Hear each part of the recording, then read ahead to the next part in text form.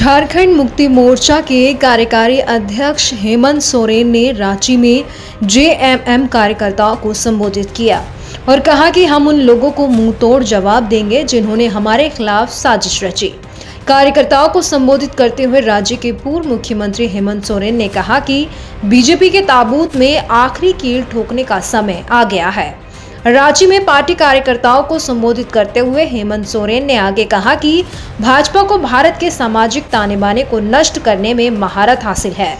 देश की जनता ने भाजपा को 2024 के लोकसभा चुनावों में सबक सिखाया है।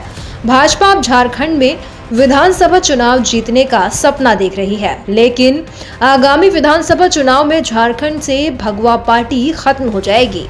वहीं इस बैठक के बाद पूर्व मुख्यमंत्री हेमंत सोरेन ने अपने आवास के बाहर पार्टी कार्यकर्ताओं को संबोधित करते हुए कहा कि भाजपा वाले हमें गुमराह करने और हर संभव तरीके से हमें हमारे रास्ते से भटकाने की कोशिश करेंगे। विधानसभा चुनावों में हमने उन्हें दिखा दिया है कि हम क्या करने में सक्षम हैं।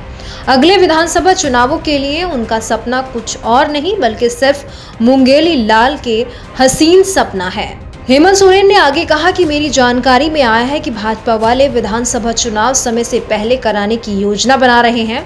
मैं उन्हें चुनौती देता हूँ कि वो जिस दिन चाहे चुनाव कराएँ। भाजपा कई राज्यों में आदिवासियों को सीएम बना रही है, लेकिन वो सिर्फ़ रबर स्टाम्प है। झारखंड के पूर्व मुख्यमंत्री हेमंत सोरेन विरसा मुंडा कारागार से रिहा हुए हैं। बता दें कि धनशोधन मामले में राज्य की हाईकोर्ट ने उन्हें जमानत दी थी। वहीं इस दौरान हाईकोर्ट ने कहा था कि प्रथम दृष्टांत वो दोषी नहीं है और जमानत पर रहकर याचिकाकर्ता की तरफ़ से कोई अपराध करने की कोई संभावना नहीं है।